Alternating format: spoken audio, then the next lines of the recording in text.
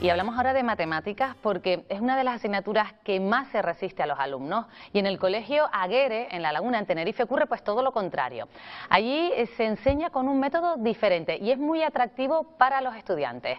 Miriam Rodríguez, cuéntanos, buenos días, ¿en qué consiste?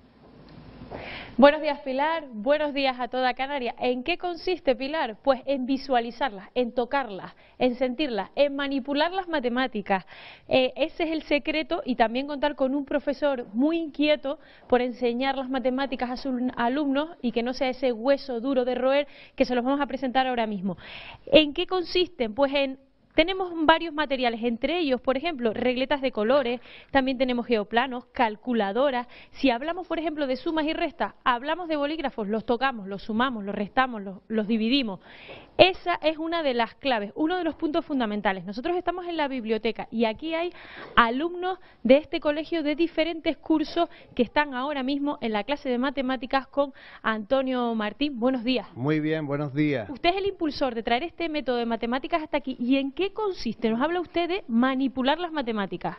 Efectivamente, se trata de apropiarnos de las matemáticas, de vivirlas, de construirlas. Por ejemplo, ¿cómo? ¿cómo? hemos aprendido nosotros las matemáticas, que para mí eran una asignatura siempre dura de roer, y cómo las enseña usted? Mire, según Brunner, un psicólogo americano, para que se dé un buen aprendizaje habría que pasar por la fase manipulativa, luego por la gráfica y luego por la fase simbólica.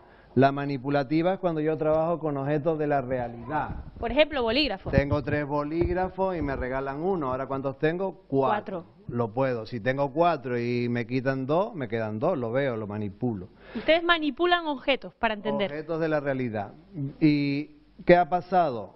Mira, Miriam tiene tres bolígrafos, con lo cual ya estás engañando a los niños porque agarra uno de esos bolígrafos para escribir. No, intento cogerlo y no puedo. No puede, porque eso es gráfico. Y si yo te regalo otro, pues tampoco, puedo tampoco puede. Y ya no te lo pierdas cuando dice tres que tenía y uno que le regala a Tony, ahora Miriam tiene cuatro bolígrafos. Estas dos formas en las que nosotros hemos aprendido las matemáticas y usted lo que ofrece es manipular las matemáticas, tocarlas. Efectivamente, esta ha sido la contribución del sistema escolar al fracaso escolar. ¿Y cómo lo hace? Para que lo veamos ya en la mesa con los niños. Vamos hasta allá. ¿Cómo lo hace? Manipulativa con materiales concretos. Concretamente, uno de ellos que es mágico es un material de los años 40, o sea, ¿qué, descubrimiento Esto lo vi yo en el colegio, la verdad, y no, lo supe nunca para qué servía. Pues estas chicas de quinto están trabajando estas operaciones, eh, se las mostramos un, poquito, un poquitito así a la cámara, que no pertenecen a primaria, esto es de secundaria. ¿Ecuaciones son? Mm, eh, raíces y potencia.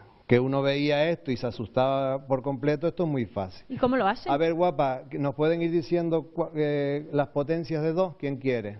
Venga, una, rapidito. Venga, Xiomara, empieza tú. Que no, tú. Xiomara. ¿No quiere? venga. Pues venga. A ver, Aroa. La raíz cuadrada de 1. 1 al cuadrado 1. 2 al cuadrado 4. 3 al cuadrado 9. 4 al cuadrado 16, 5 al cuadrado 25. ¿Cómo lo hace? ¿Cómo lo sabe si solo está viendo eh, eh, figuras? Sí, porque este es el 1, la roja vale 2, porque eh, ellos han descubierto en clases anteriores, claro, no en esta, que la roja vale 2. Entonces, ah, aquí lo mides con esto. Esto es una unidad. Efectivamente. Entonces, ahora aquí tenemos un cuadrado, ustedes ven un cuadrado, dos por aquí, dos por aquí. Serían cuatro. Cuatro, por eso dos al cuadrado. Cuatro unidades. Cada una de estas filas representa esto, por, ejemplo. ¿Por qué decíamos dos al cuadrado, cuatro? Pues lo mismo aquí, este es tres, tres por aquí, tres por aquí, este sería tres al cuadrado. 4 al cuadrado, 5 al cuadrado. ¿Y a ti te resulta más fácil aprender matemáticas así? Me parece muy fácil. ¿Por qué? Porque eh, OA es una forma de trabajar más fácil las matemáticas porque está divertido. muy divertido. Qué curioso, Pilar. Y aquí, por ejemplo, tenemos otro método que es el... El geoplano, otro material didáctico que es el plano. Chicas, venga, ¿por qué no me hace la estrella polar? Vayan haciendo la estrella polar, venga. ¿Qué es lo que aprenden haciendo la estrella polar de esta manera? Pues, mediciones, quizás. En principio eh, estamos trabajando el pensamiento geométrico, importante simplemente pues para sacar el carnet de conducir. Mucha gente tiene muchos problemas para poder aparcar porque no tienen desarrollado el pensamiento geométrico. Aquí lo que estamos haciendo es la composición de figuras geométricas y la descomposición aparte de la psicomotricidad fina. Estas niñas son de tres años y mira pues todo el trabajo que hacen con los La dedos. Y luego, para terminar, aquí tenemos El metro. el metro.